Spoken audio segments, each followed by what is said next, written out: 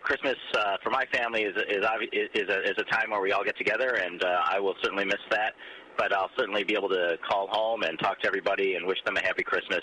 And uh, uh, I will have the opportunity to look on, on the earth as we go around the earth every 90 minutes and reflect on uh, a hopeful uh, uh, a future of uh, peace and uh, of uh, um, a single mankind, and uh, as a goal that uh, we can achieve, uh, that we can strive for, and hopefully achieve. And uh, that's what my wish would be uh, for this Christmas season. And uh, I expect to have an exciting and uh, fun time floating here on uh, Christmas. Uh, one of the rare opportunities to do that.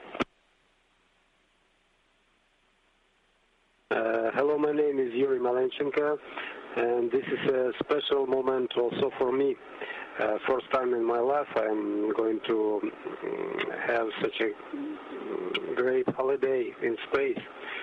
So uh, we expecting uh, uh, to receive uh, presents. Uh, December 25th, uh, Russian Space Agency provide rocket and uh, Progress vehicle for that and uh, what else? We know place, we know company, so we're ready to celebrate, and we uh, will um, do wish all the best all people on the earth.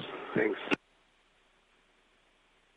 So, to all the Earth dwellers, uh, the Expedition 16 crew wishes you very happy holiday season. Take care.